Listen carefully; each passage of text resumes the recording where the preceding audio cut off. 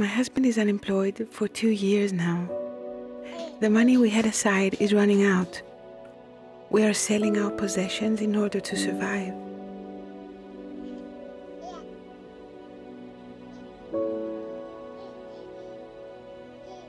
We have no income, and the unemployment benefits are not enough for a living. I'm afraid for my children's future. International Orthodox Christian Charities help to support families in Greece.